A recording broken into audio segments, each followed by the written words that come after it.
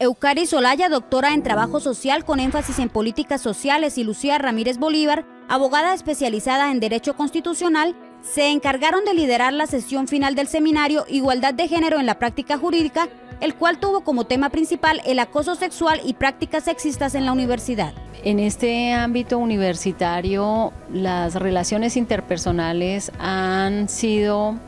eh, muchas veces eh, basadas en situaciones de, desigualdad, se generan profundas tensiones, pero cuando aparecen las violencias, y especialmente una de las violencias más fuertes es el acoso sexual,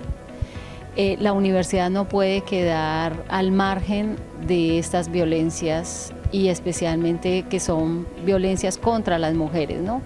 El mayor número de violencias que se dan es entre estudiantes. El evento organizado por la Escuela de Derecho y Ciencia Política UIS estuvo dirigido a estudiantes y profesores con el fin de fortalecer competencias específicas en la incorporación de la igualdad de género en la práctica del consultorio jurídico y centro de conciliación de la universidad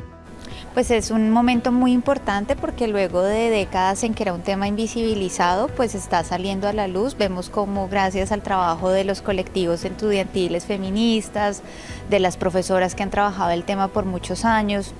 y de los medios de comunicación, pues es un tema que está ahorita eh, pues en uno de los primeros puntos de la agenda y que invita a las universidades a tomar acciones definitivas, concretas, con un enfoque de protección y derechos humanos para que sean ambientes seguros eh, y pues armoniosos donde las estudiantes y los estudiantes pues puedan desarrollarse plenamente, ejercer su ciudadanía pues en espacios libres de violencia.